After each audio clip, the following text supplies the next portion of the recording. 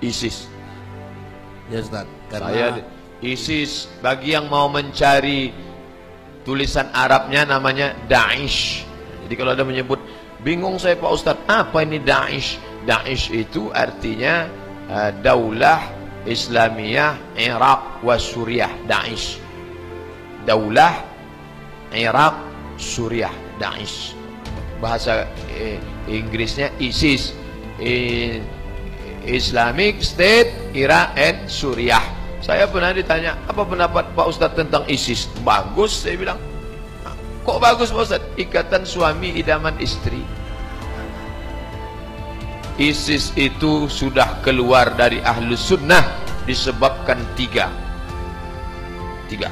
Apa yang tiga? Pertama, Abu Bakar al-Baghdadi mengangkat dirinya sendiri. Dalam Islam, khalifah tak mengangkat dirinya. Abu Bakar tak mengangkat dirinya. Sahabat membaiat Abu Bakar. Begitu. Ali tak pernah mengangkat dirinya. Setelah Utsman meninggal, sahabat membaiat Ali. Abu Bakar nak, kalian baiat aku. Siapa yang tak membaiat aku, kafir. Dibacakannya hadis, man mata, siapa yang mati.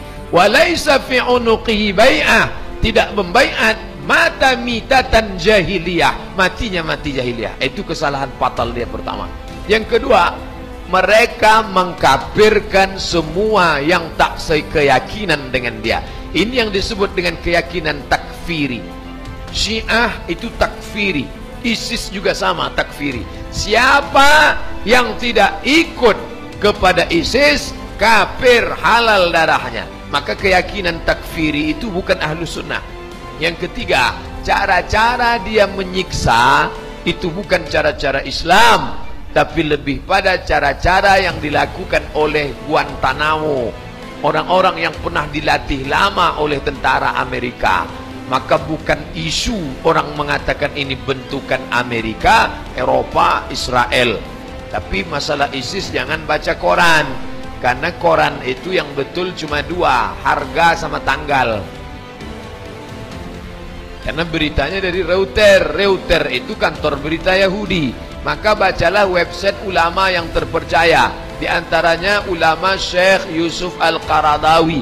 Beliau memfatwakan ISIS itu bukan Islam. Tapi bentukan. Yang terjadi sekarang itu perang antara dua. Syiah dengan rezim Bashar al-Assad didukung oleh Iran dan Suriah.